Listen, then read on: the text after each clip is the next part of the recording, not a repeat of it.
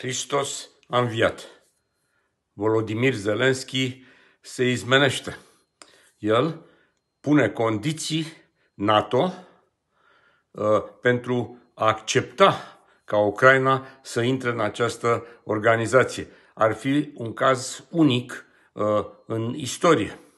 Uh, până acum știam că NATO pune condiții statelor pentru a putea să îndeplinească anumite criterii și să fie primită în organizație. Acum, uh, Zelenski vrea să inverseze lucrurile. N-ar fi singurul lucru pe care îl inversează Zelenski.